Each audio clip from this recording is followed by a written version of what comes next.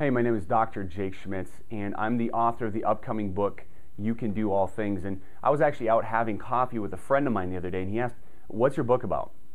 So I, I, launched into it, and I was just like, I was really excited for this. So I said, It's about overcoming the challenges that happen to us on a daily basis that keep us from being the best version of ourselves. Um, this book is specifically for how to overcome fear that we, that we run into every single day, how to push past the limiting beliefs and limiting mindset that we have that keeps us from being our best. Um, and, and what I've found, I've read thousands of books on this topic, and, and there's not one book that's an entry level for people getting into this. And so this is for you. If you haven't ever dived into this, this this book is for you. And so what I'll have you do for more information, head over to our to my blog, our website, justaskdrjake.com, justaskdrjake.com for more information so you can get a feel for what this book is really about.